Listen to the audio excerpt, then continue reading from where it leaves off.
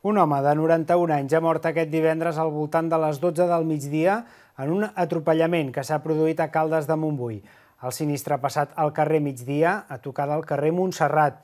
Tot i que la policia encara està investigant les causes de l'atropellament, tot indica que el camió ha tirat marxa enrere i ha col·lisionat amb l'home, que anava amb bastó. És probable que el vianant es trobés en un angle mort de visió del conductor. La defunció de la víctima s'ha produït al moment sense que els serveis d'emergència poguessin fer res per reanimar-lo. El carrer Migdia és un carrer a un sol nivell on vianants i cotxes comparteixen espai. Aquest és el primer accident mortal que s'hi produeix. Com a conseqüència de l'accident s'ha cordonat la zona i s'hi ha prohibit l'accés. Molts curiosos s'han acostat al carrer Montserrat quan s'ha conegut la notícia.